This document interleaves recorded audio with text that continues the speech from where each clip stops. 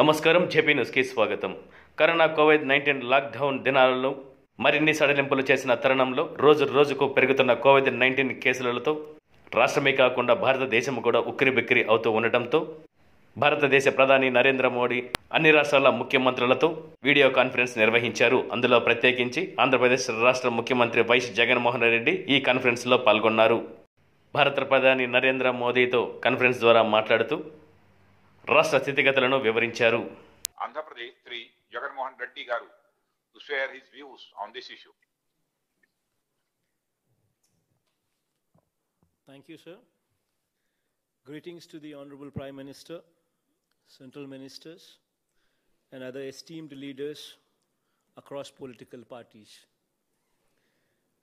At the onset, I'd like to express my deepest anguish over the death of our 20 brave soldiers who displayed exemplary courage while protecting the sovereignty of our great nation at Galwan Valley on Monday, 15th June 2020. I, on behalf of my state, salute their supreme sacrifice in the highest traditions of the Indian Army. My heart goes out to the families of these brave soldiers. I strongly urge the leaders participating in today's meeting to stand shoulder to shoulder with our extended bereaved families. But, sir, in today's nuclear era, sir, the world is changing.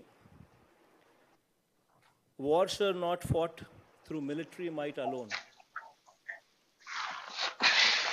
but by international clout, diplomacy, trade restrictions, sanctions, and international pressure.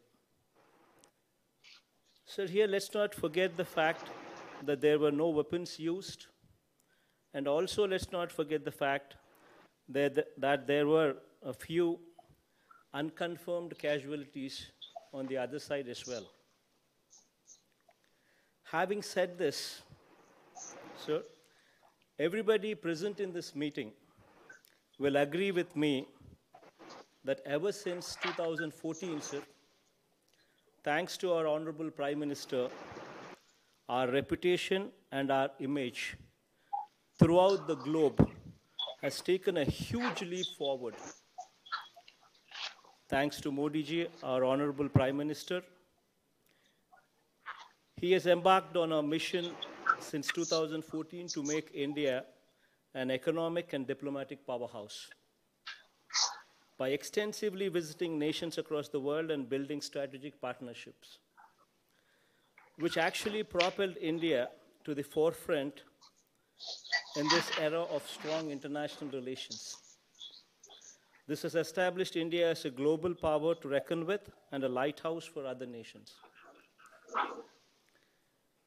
Sir, we have gained prominence in the global sphere, and it is quite evident from the Honorable Prime Minister's most successful foreign policy initiatives, which has secured our membership in the top three international control regimes for missiles, arms, and bioweapons, namely Missile Technology Control Regime, Wassenaar Agreement, and Australia Group.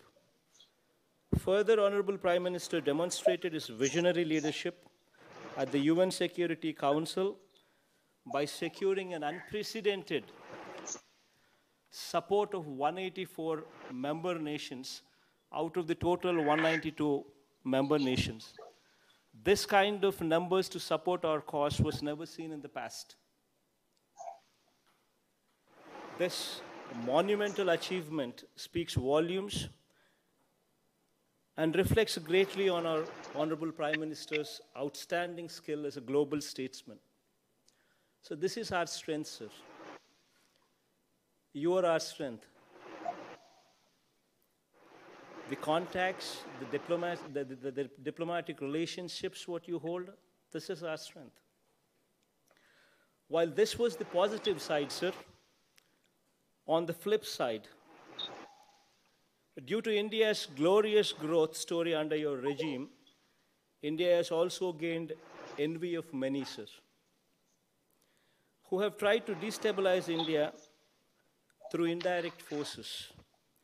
Despite such pressures working against us, we have emerged victorious time and again. With your capable leadership, sir, which is quite aptly displayed through your swift and just response in the horrendous Pulwama attack, or be it Doklam issue, sir, or India's success story in declaring Masood Azhar as international terrorist and our resounding victory when International Court of Justice, by a vote of 15 to 1, upheld India's claim in Kulbhushan Jadhav's case. All these speak volumes of your capability and also your astute leadership, sir. And I'm confident of India, of India's future in your able leadership in this situation as well, sir. Sir, I'm closely following the situation building up in Galwan Valley, sir.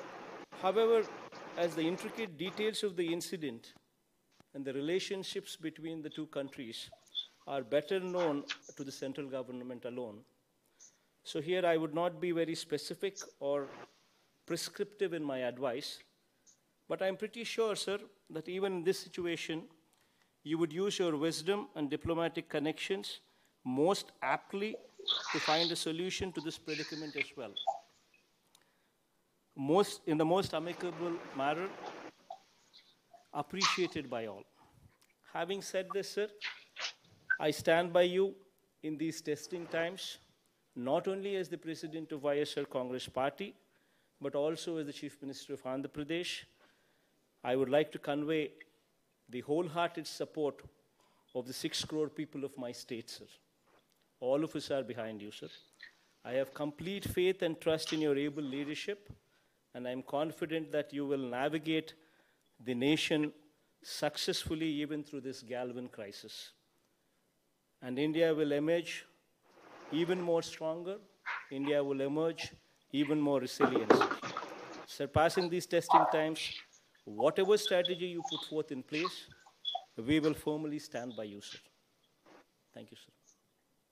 Jai Hind,